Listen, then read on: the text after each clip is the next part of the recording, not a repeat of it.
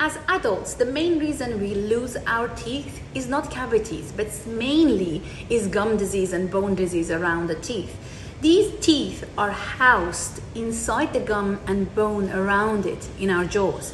And if the bone and gum shrinks down, the tooth can become loose like this and you have to pull it out.